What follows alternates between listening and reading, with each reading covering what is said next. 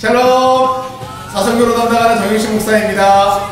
이번 체육대회를 준비하는 사성교구의 마음을 4인시로 준비했습니다. 자, 다 같이